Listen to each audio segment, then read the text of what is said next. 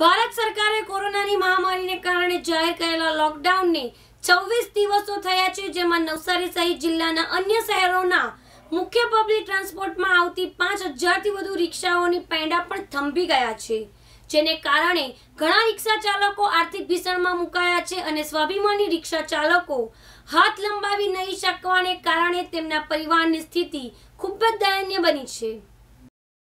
Corona વાયરસે હજારો લોકોના જીવનને કાબૂમાં કરવાનો પ્રયાસ કર્યો છે. કારણ કોરોના સામેની જંગમાં મોદી સરકારે લોકડાઉન જાહેર કર્યું, જેમાં જીવન સ્થગિત થઈ ગયું છે. પચીસ દિવસથી ધંધા રોજગાર બંધ થવાને કારણે લોકો આર્થિક સંકળામણમાં મુકાયા છે, જેમાં પણ રોજનું કમાઈ ખાતા પરિવારનું ભરણ પોષણ કરતા શ્રમિકોની સ્થિતિ વધુ કફોડી બની રહી છે. ખાસ કરીને નવસારી જિલ્લાના શહેરમાં મુખ્ય પબ્લિક ટ્રાન્સપોર્ટ રિક્ષાઓના પૈડાઓ પણ થંભી ગયા છે.